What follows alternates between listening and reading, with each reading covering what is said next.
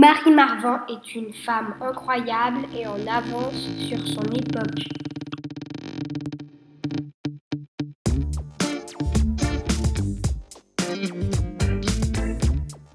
Marie Marvin est née le 20 février 1855 à Aurillac.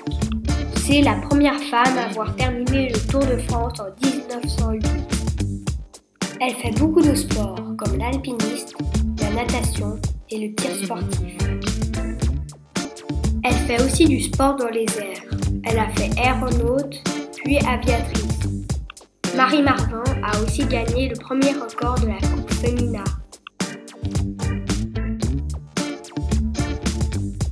Elle dit même avoir appris à nager en même temps d'avoir appris à marcher. Elle est décédée le 14 décembre 1963 à Laxou.